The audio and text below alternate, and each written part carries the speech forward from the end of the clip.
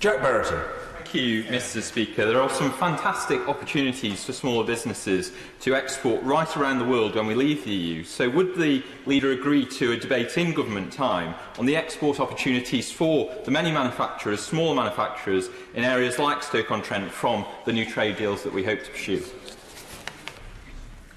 Well, my honourable friend is a great champion for his constituency and I absolutely agree with him. There will be great opportunities for all businesses in the United Kingdom as we leave the European Union and are able to seek free trade deals across the world. I would encourage him to perhaps seek an adjournment debate so he can discuss, particularly with members, ministers in DIT, precisely what the impact could be for Stoke-on-Trent and his constituency.